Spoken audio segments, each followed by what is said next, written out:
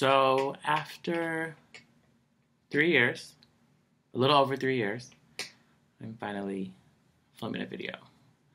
I've promised this video on social media for so long, um, but I finally feel ready to talk to you guys and just let you know where I've been, what's new, what's changed, what's different, what's the same um, since my last video. So I'm really, I'm literally just like winging it. I have no script or anything like that. I'm just gonna talk. Um, so let's see. In the past three years, I have started a new job.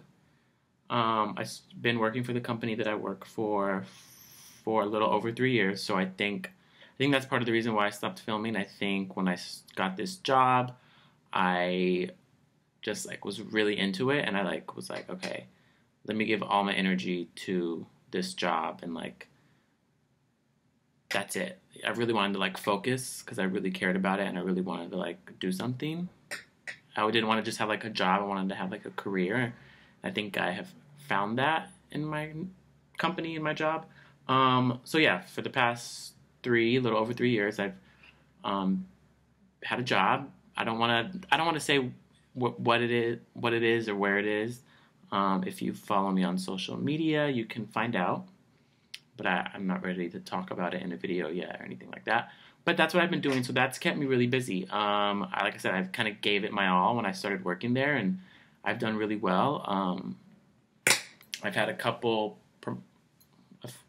pretty much. I think I've been promoted a few times in the past three years. So, like I said, it's been really good for me, and it was a great thing to give my energy to. I think when I was filming videos a lot more consistently, I didn't have a lot going on in my life. I wasn't in school, my jobs were constantly changing, and I really wanted to find something to like throw myself into and like really give all my energy to. So, I found that with my job, and so that's kept me really busy for the past three years.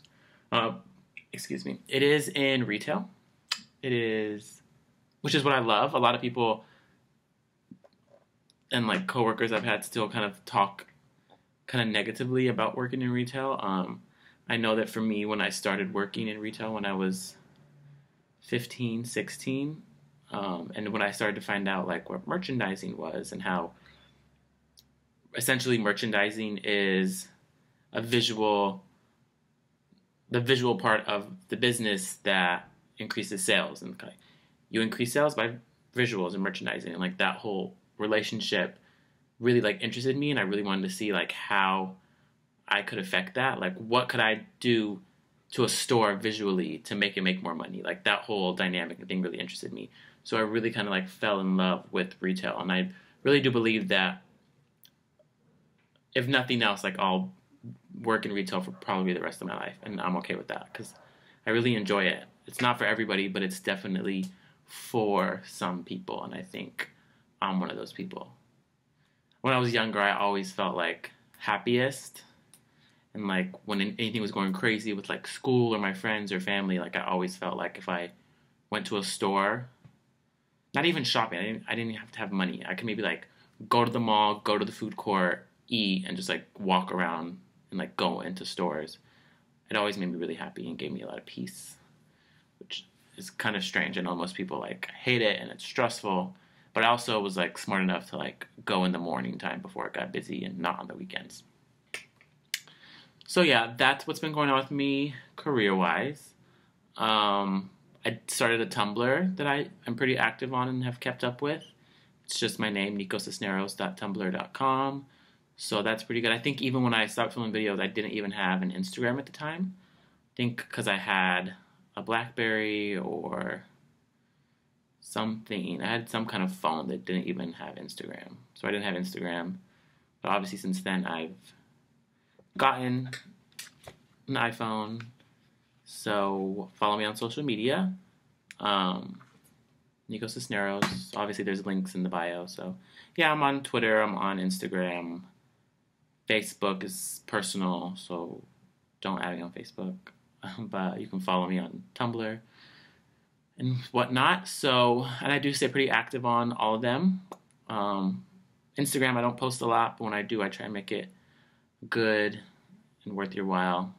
I really just use it kind of like as a creative thing. It's not like I post everything I do every day. Like I might not post a picture for like a week, but yeah, so that's been going on. Um, I moved. I used to live with my parents in the suburbs of Atlanta, where I grew up. I lived in that house since I was like five years old. Um, I'm now 26. I turned 26 a month ago. And for about a year and a half, I lived on my own in Midtown, Atlanta. That's right. My apartment is. Um, I moved out initially with an ex boyfriend that I was in a relationship with. We moved um, in together and then we broke up about halfway through living together, and then he moved to New York, and then I got a roommate, and then when that lease was over, I moved into where I live now, which is this place, which maybe if I keep doing videos, I'll show you guys around sometime. It's nice. It's my obviously like when I walked in, or like my number one thing when I was like looking for an apartment was like it has, it cannot have brown. Like I hate brown cabinets. I hate brown countertops. I hate brown carpet. I don't like the color brown. I just started to like wearing the color brown. I definitely don't like the color brown unless it's like wood, like real wood. But like, I hate. I just hate like brown kitchens, the whole thing. So when I was looking for an apartment, I was like, it just can't be brown, and I found this place. It has gray carpet. All the walls came gray. The kitchen has white cabinets with like a black and white mosaic backsplash. The countertops are gray. The bathroom and the kitchen have gray hardwood floors. So it's great. I really like it. I live my I live with my best friend, who I've known since third grade. Um, me, him, and his dog live here, but he's not, he's not here that often because he has a boyfriend. Um, I currently don't have a boyfriend. If any of you are asking, I haven't had a boyfriend since I broke up with the one who I lived with. Um, I haven't really even. That's been it's been it's been like a year since that happened. I've, so I've been single for like a year um, which has been good. It's been like a good getting to know me again year, I think.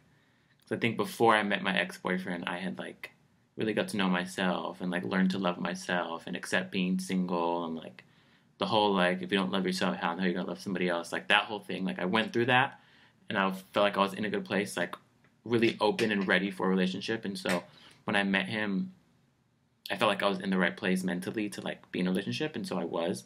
And then we were together for a year, and then when we broke up a year ago, I kind of had to do that process again a little bit and like learn to be single and happy and okay and alone and that whole thing and really like figure out what you want again. I think, you know, I think I wanted, I thought I wanted one thing when I met him and then was with him. And then since we've broken up, I think I've realized I want something else, or not even something else, but I think just every relationship you're in that doesn't work out, I think you come away from it thinking like, or realizing that maybe one or two more things that like you know you need in the next person, and you just keep on kind of like looking for those things, or maybe adding those things until you find the right person.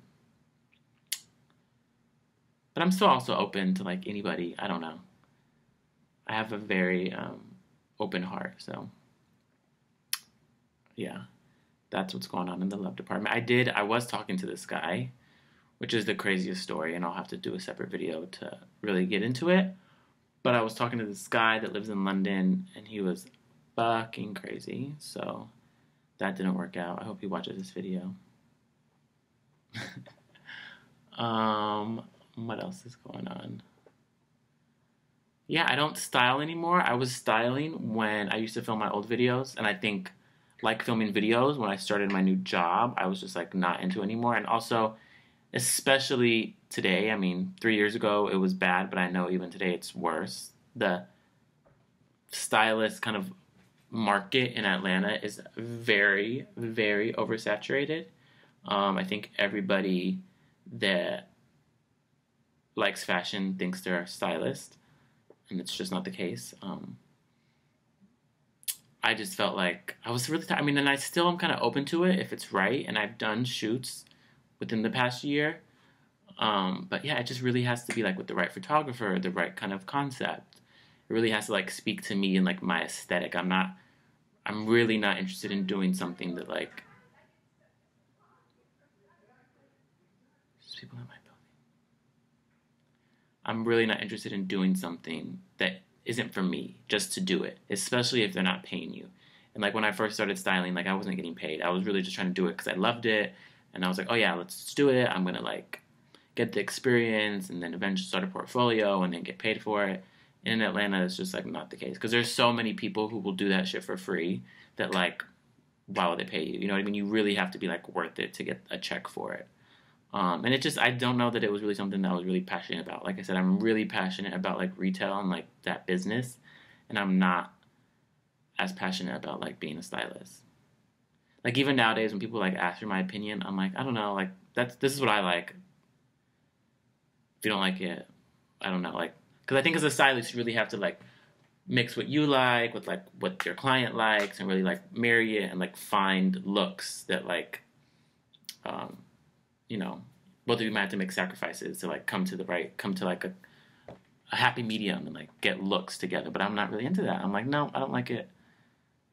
And this is what I do like. So, yeah, even friends. I don't even like style my friends like I used to because I just don't care.